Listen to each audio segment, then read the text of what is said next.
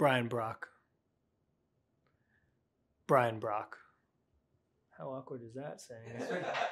Linebacker, Syracuse. Innately, giving will will come back around to you. It's not the purpose you do it, but it's a byproduct. Like the more positive energy you put out there, I believe in this anyways, the more positive energy you get back. The more you give, you know, we've all heard the saying, the more you get. That's happened to me time and time again. And the crazy thing is, when I was younger, I was way more selfish. Like the things that I was doing were only for me. The money I was making was only for myself. I didn't have a family to feed or responsibilities to to shift that money to. So anything creatively I was doing was for self-fulfillment and then the money was the byproduct of that that allowed me to continue. But if you strip out the money for a second and you just go through the process of creating and then giving and what comes back, man, most of the things I've ever succeeded in in life is probably from giving first. No expectation. Um, and I think it's a lot of our responsibilities as now older people in the industry or in our communities to to lead by example. Um, no one needs to be a role model, but it's so easy to to give, right? It costs you nothing. And if you're worried about finances, like like that you're not going to make enough because you're volunteering your time or the time you're spending on giving to to someone in need is taking away from the time that you could be earning something that's just a balancing act of life. You you you choose your own moral compass at that point. Like what do you value over something else? How much is one thing important over the other?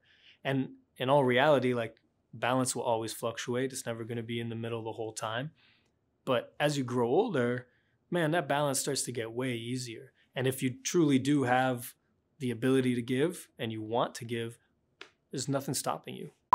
I'm still open to someone else teaching me something so that I could skip a step or that I could maneuver in a way that I haven't thought of before.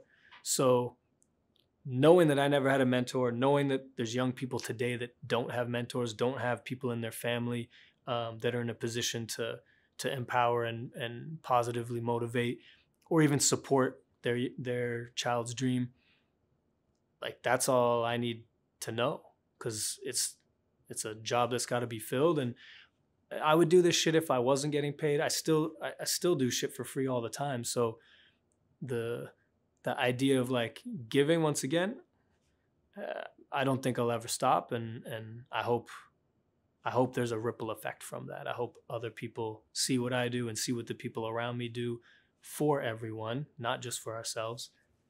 And I hope it helps helps them pass it on. Yeah, I think social media is a gift and a curse, to be honest, because on one hand, you have all this amazing access to things that you never had access to before.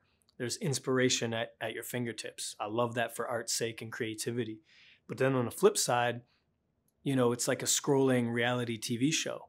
And I fucking hate reality TV shows they're not real and the side that they're choosing to show is a side that's that's not a world that I want to be a part of. And it, it's a lot of negativity, it's a lot of insecurity, it's a lot of the things that people get stuck in, in in grade school and high school and never grow out of because they never had a proper support system.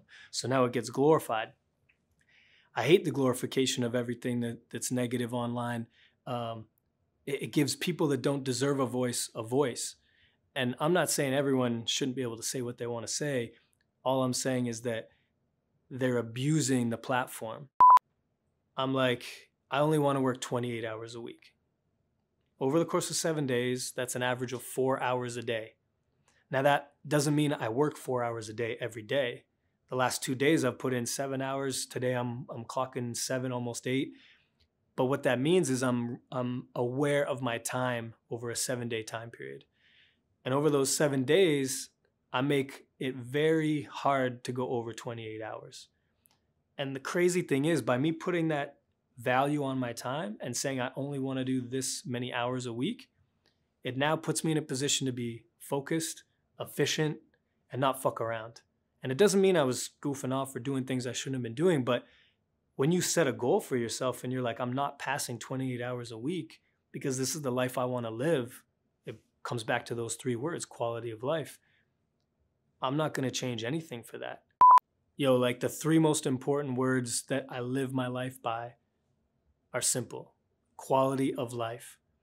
You know, I learned at an early age that there's something that is is so important and it's called balance. And the balance is what gives you the quality of life. You need to find self-fulfillment, but you still need those rewards to be paid and and you know, be a part of society. But the reality of quality of life, man, it boils down to like why are you even doing this? What are you doing it for? What are you getting out of it and what are you giving? Is the world changing because of this or does it not really matter? Is it something that's going to change your world? Because maybe it's worth it.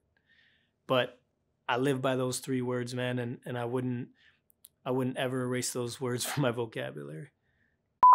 Yeah, I think um, when it comes to insecurities, most of those things in my life were taken care of at an early age because I grew up in a time when listening to hip hop wasn't popular. So I got made fun of for being into that music.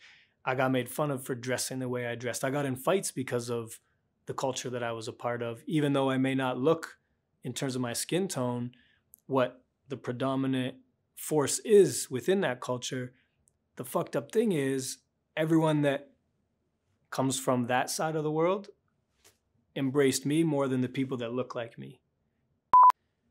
Yeah, so being adopted was single handedly the best thing that's ever happened to my life. But I didn't know that when I was younger. See, when you're on the come up, you know, something like being adopted forces you to ask yourself real questions like, Am I good enough? Or why didn't my parents want me? And you're forced to have this chip on your shoulder while you start to maneuver through life. But in all honesty, being adopted allowed me the ability to maneuver through life with touch points on a lot of different groups of people.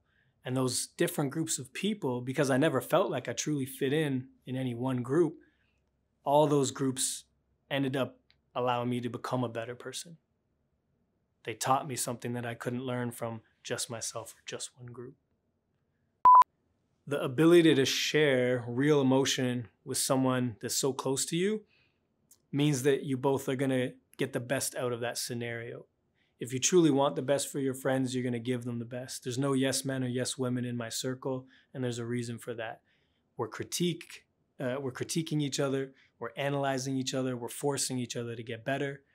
And if there's moments of pain and struggle, we'll accept those and go through them together. There's never a reason to be alone, especially in a world like today where we're all able to connect. If I could take all my creative ability and lose it tomorrow, like my God given gifts of, of drawing and seeing things, if I could take all that away tomorrow and change how the world views race, I would do it in a heartbeat. Because everything that I've become is because of the acceptance of others. And that is predominantly not the race that looks like me. And the power that comes from people connecting over like mindedness and the unity through shared experiences and the open mind to actually connect bigger and better than what you were or once were fuck out of here. No one can talk to me. No one can talk to you if if we connect like that. But the way that it currently is it's man it's mad depressing.